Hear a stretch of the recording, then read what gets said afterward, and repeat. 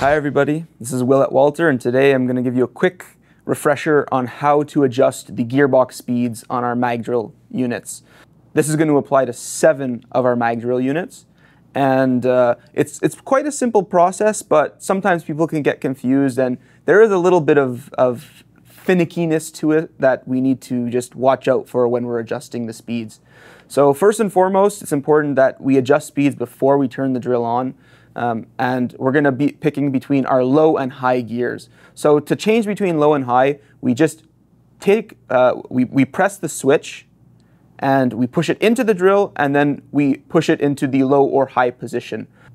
So we need to make sure that the lever is properly depressed from the drill and it's fully at one end of the slot. If it's not, the drill when we turn it on might not actually start spinning because the gears won't properly be meshed. So it's very important that you make sure that your switch is properly depressed.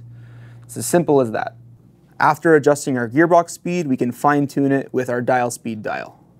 Now, something that I will explain a little bit more in detail because it could be a little bit confusing is if you're having trouble getting that switch fully up or fully down. Um, sometimes what we have to do is uh, the, the gears on the drill are just like a car and, and it's like a clutch system. So what we have to do is while we're pushing the switch up or down, we also have to hold the spindle and rotate it slowly back and forth. A technical term would be jiggling uh, to make sure that we could fully push it up or down. And, and then we'll be able to start the drill properly, obviously when everybody's hands are away from the unit. It's as simple as that. Thanks for watching.